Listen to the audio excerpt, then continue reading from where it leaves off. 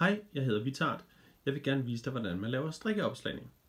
Strikkeopslagning er en ret smart teknik, fordi i stedet for at måle den der lange, lange ende af, inden du går i gang, så starter du simpelthen bare med at lave den her løbelykke lige ved garnets ende, og så sætter du den på din venstre pind.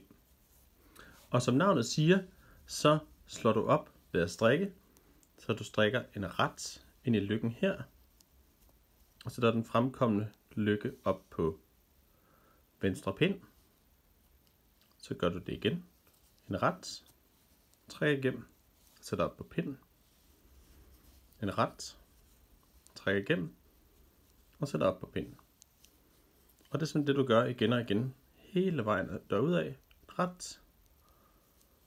Og en ret. Jo. Og en ret.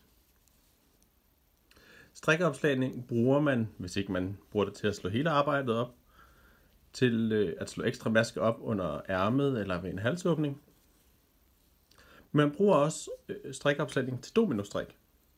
Og det gør man, fordi at når man er færdig med at slå op, så har du hernede, for neden langs kanten, en ret fin kant, der er ret nem at samle maske op i.